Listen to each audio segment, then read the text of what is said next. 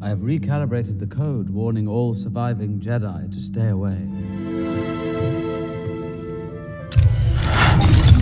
This is Master Obi-Wan Kenobi. I regret to report that both our Jedi Order and the Republic have fallen, with the dark shadow of the Empire rising to take their place.